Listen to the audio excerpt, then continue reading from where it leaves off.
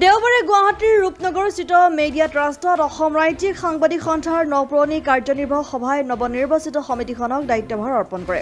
জিতু শৰ্মা ৰাজখোৱা সভাপতিত্বত অনুষ্ঠিত সভাখনি নতুন সমিতিৰ বিষয়ববীয়াসকলক শপত বাক্য পাঠ কৰাৰ পিছতে দায়িত্বভাৰ অৰ্পণ কৰা হয়। উল্লেখযোগ্য যে প্ৰতিদিন কাকতৰ সংবাদকৰ্মী মথুৰাপুৰৰ প্ৰণৱ বৰগোহাঁয়ে সাংগঠনিক সম্পাদক হিচাপে শপত গ্ৰহণ আৰু দায়িত্ব গ্ৰহণ কৰে। অসম ৰাজ্যিক সাংবাদিক সন্থা তেইছ আৰু চৌবিছ ডিচেম্বৰ দুহেজাৰ বাইছ তাৰিখে জাগিৰোড মহাবিদ্যালয়ত অনুষ্ঠিত হোৱা অধিৱেশনতে সন্থাৰ নতুন সমিতি গঠন কৰা হৈছিল। সভাত কামৰূপ মহানগৰকে ধৰি বিভিন্ন জিলা প্ৰতিনিধিসকলে অংশগ্ৰহণ কৰে। মথুৰাপুৰৰ পৰা ইছলাম আহমেদৰ ৰিপৰ্ট অসম আদিত্য।